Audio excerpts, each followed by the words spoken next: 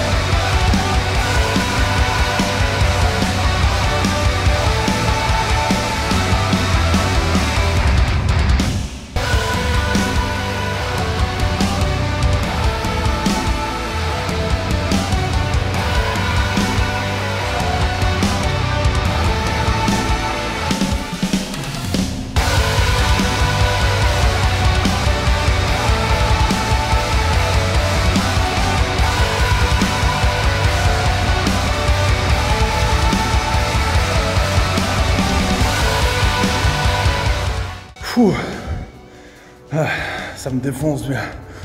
Là, là c'était des supersets qui m'ont vraiment bien achevé. En plus, euh, j'ai fait mes jambes hier, donc j'étais encore courbaturé un petit peu aux jambes.